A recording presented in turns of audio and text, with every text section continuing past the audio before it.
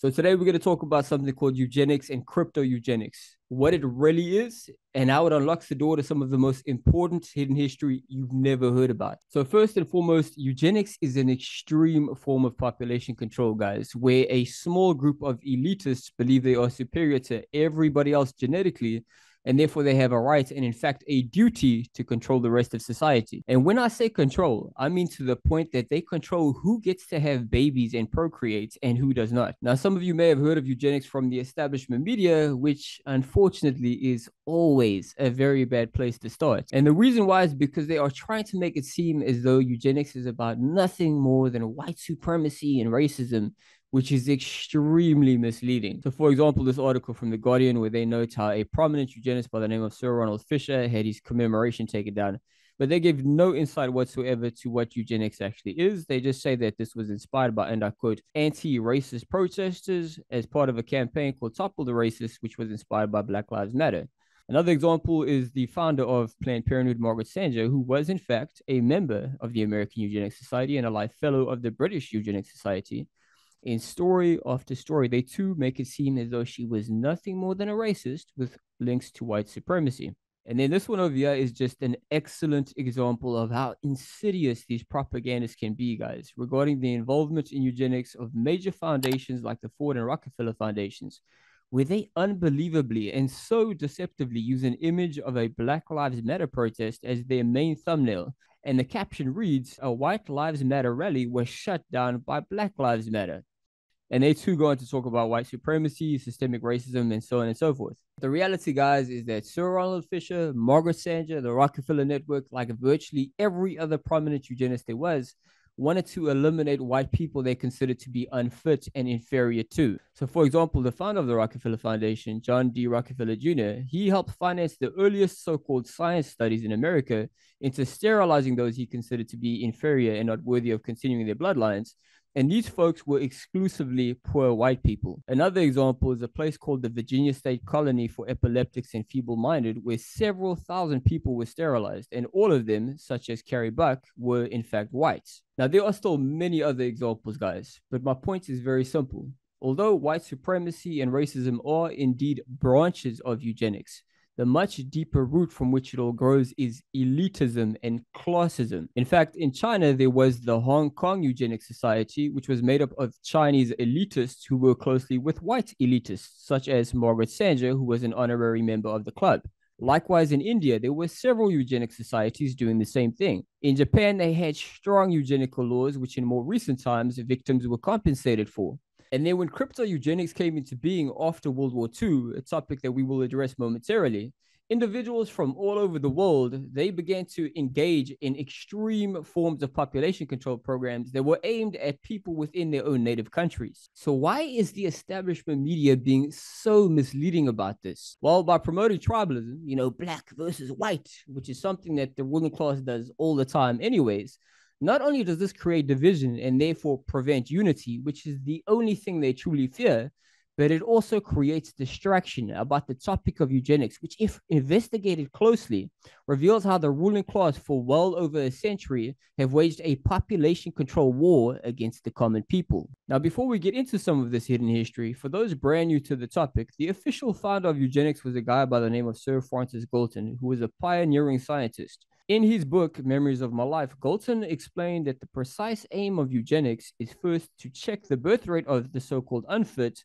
and second, furthering the productivity of the fit. Now, he defined the unfit as those who are seriously afflicted by lunacy, feeble mindedness, habitual criminality, and pauperism. And yes, pauperism applies to those who had the misfortune of being born very poor. Unsurprisingly, this douchebag was born into a rich banking family and never knew a day of financial hardship in his entire life. Now, in Galton's twisted worldview, this extreme form of population control was really a form of self defense in a clandestine war between the ruling class and those he considered to be inferior, which became a popular perspective with his supporters and followers.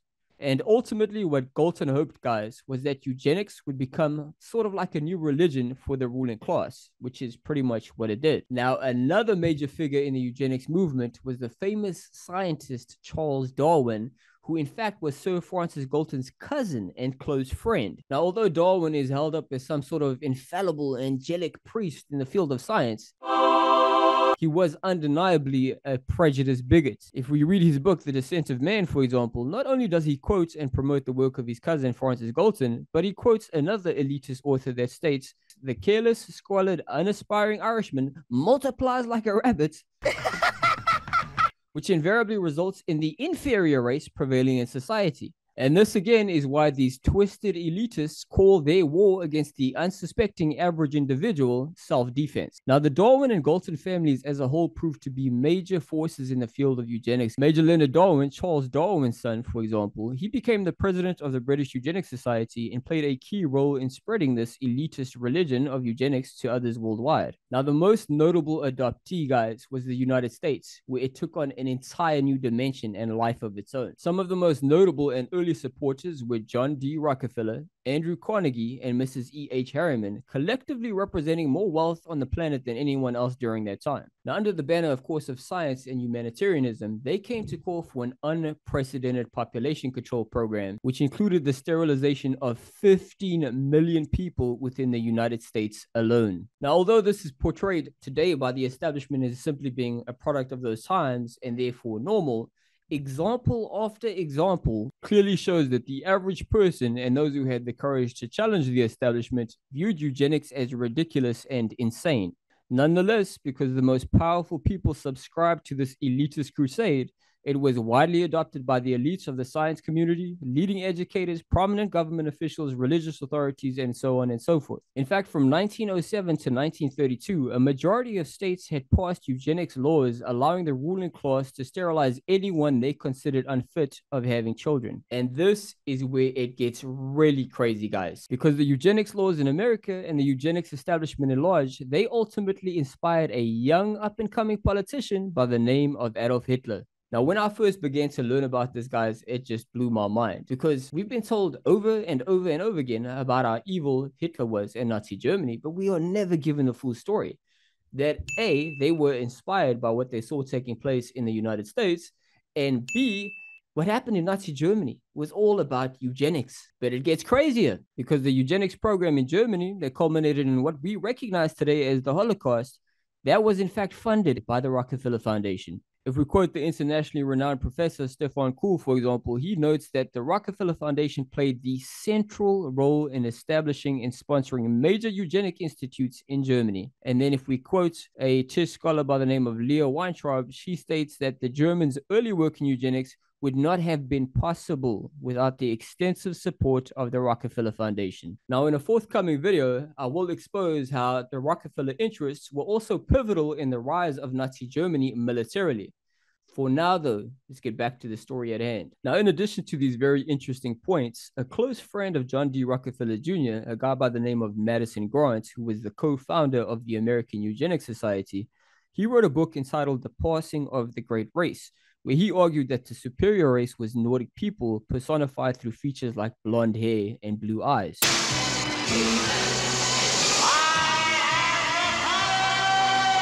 Now, a young Hitler read this book, and it had such a profound influence on his worldview that he later came to refer to it as, and I quote, my Bible. Now, initially, leading eugenics from America came to praise the sterilization eugenics program in Nazi Germany such as was the case with prominent American Eugenics Society member and future president Frederick Osborn, who called the Nazi sterilization program an excellent one and one of the most important experiments in history.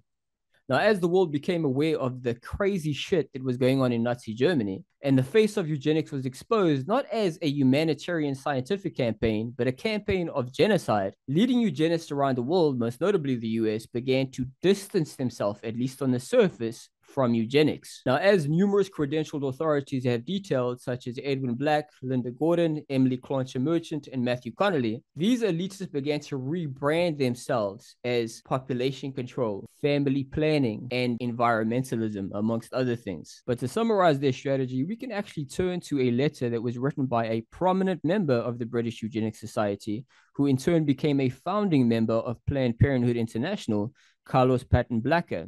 And what Blacker cites is the aforementioned Frederick Osborn regarding something that he calls crypto eugenics. And this is where you seek to fulfill the aims of eugenics without disclosing what you are really aiming at and without mentioning the word. Now, around this time, several powerful organizations which have come to shape the world in which we live today emerged. The first one was called the Conservation Foundation, whose founders included Henry Fairfield Osborn Jr., DeForest Grant, and Laurance Rockefeller.